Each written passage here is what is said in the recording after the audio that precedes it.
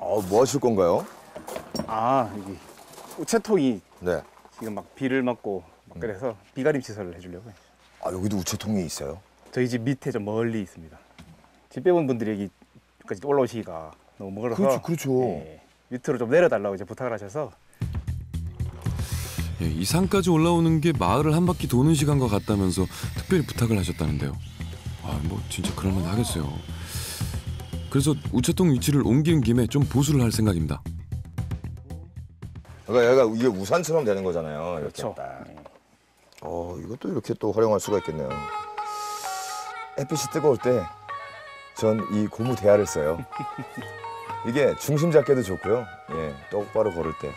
아, 이렇게. 아시죠? 예. 어디로 가면 돼요? 아 이제 내려가시면 됩니다. 아, 내려가면 돼요? 아, 아 이게 작업복인가요? 예. 오, 오, 청자켓을 딱 입으시고. 아, 이걸 또 배우신 거예요, 직접? 아 예. 이거 한 아, 1년 또 어, 40일기시군요. 그렇습니다. 오. 예, 비 가리개를 세우려면 용접을 잠시 해야 하는데 산에 살다 보니까 이게 진짜 유용한 기술이래요. 아, 이게 한 얼마나 가야 돼요? 뭐 한 20분 정도요?